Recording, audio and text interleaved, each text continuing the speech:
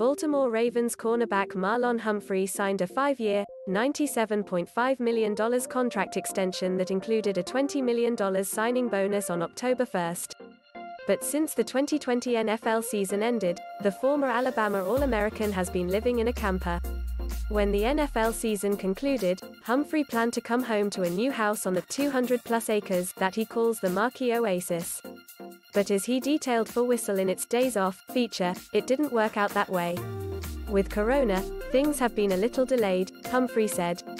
I was expecting to get done with the season and walk into a house. But I just love being out here. I've really become more nature filled. My dad said, Why don't you get a camper? Humphrey has lived in the camper on his land, enjoying and working on his property, while his house is being built.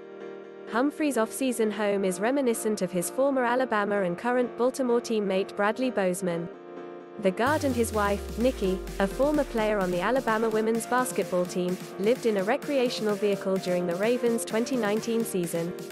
A three-time All-State player at Hoover, Humphrey won AHSAA Class 6A football titles in 2012 and 2013 and six individual state track championships with the Buccaneers. Humphrey also played on Alabama's CFP National Championship team for the 2015 season and was a first-team All-American selection by the Football Writers Association of America for the 2016 season.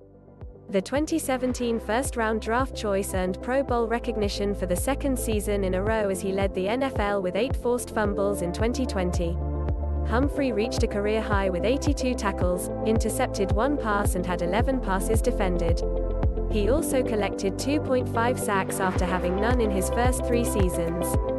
The 2020 NFL All-State team for Alabama Mark Inabinett is a sports reporter for Alabama Media Group. Follow him on Twitter at itamarkg1. Braden Smith switched to tackle paid off for Colts. Now it will for him NFL has 206 players from Alabama high schools and colleges with no proven ability. Patrick Surtain II gets to work with Broncos Alabama roots. From high school to the NFL